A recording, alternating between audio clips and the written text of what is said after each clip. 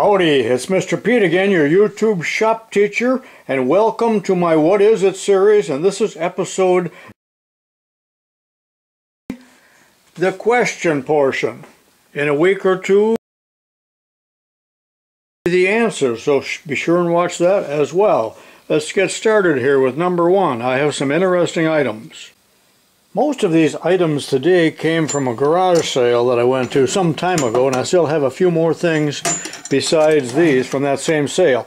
Now, here is a tongs of sort. There's a name on it, which I, I really don't want you to see right now. They remind me of a brick tongs, but a brick tongs is much more heavy duty than this and has a much greater span. This particular one has some pads here that have cleats on them that are kind of sharp.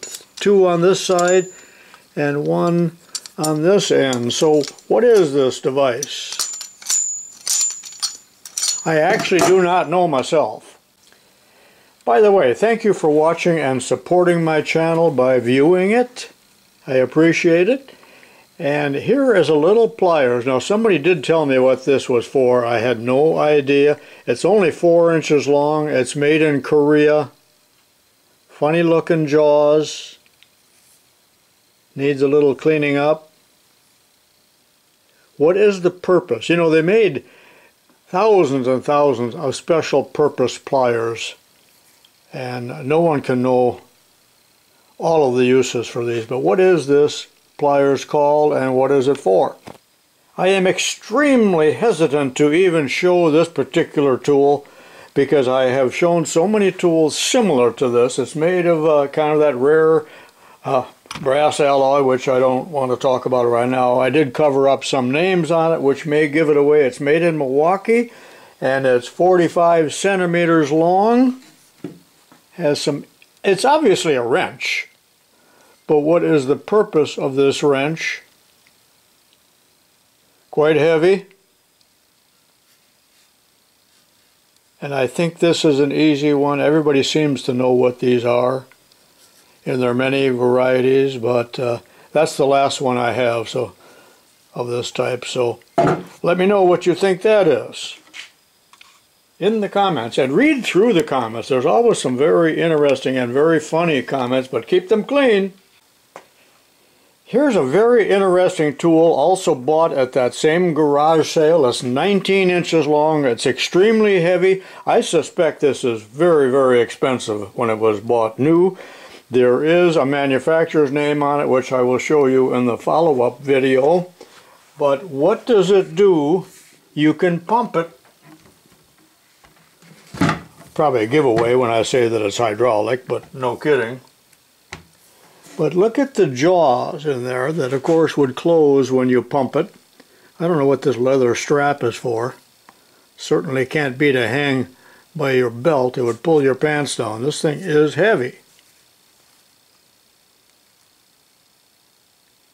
Whether or not these dies are interchangeable, looks like they're held in with a dovetail there, but it's uh, like rubber coated, so it won't rust.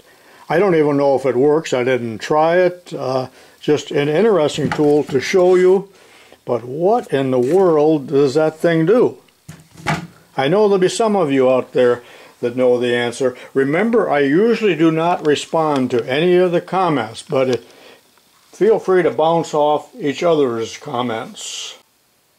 In a very recent video, you saw me purchase this Starrett vernier caliper and it's very long. It's 26 inches long. It's quite heavy and clumsy and I know I have threatened to cut it off at about the 12 inch mark but don't worry I'm not going to do that. But we know what this is. But on the back of this calipers and some other Starrett uh, calipers and maybe other brands too, there are two little marks uh, points, indentations, or whatever you call them. Uh, let me zoom in on it, and then you tell me what they're for. I think this is an easy one. I'm a little embarrassed to ask you this. Okay, this is the reverse side of the Starrett calipers. And as I zoom in here, you will see two little marks. One here and one here. What are those for? There is a very specific reason for them being there And what do you think they're used for? I hope this isn't too easy for you. Here they are again, just a little bit closer.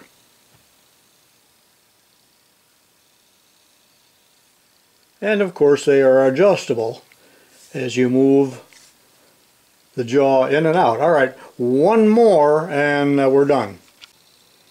And my final what is it actually is a who is it. I've got three pictures of a man here that was very popular. You got to be at least 60 or 70 to know who this man is. He's no longer with us. And I'll tell you in the following video, of course, who it is and why I am including him in this video. He lived to quite a ripe old age, although that has nothing to do with the price of fish. Who is this man? Well, I hope you liked this episode of What Is It? This is Tubal Cain saying so long for now, and please watch my thousand plus other videos. See you next time.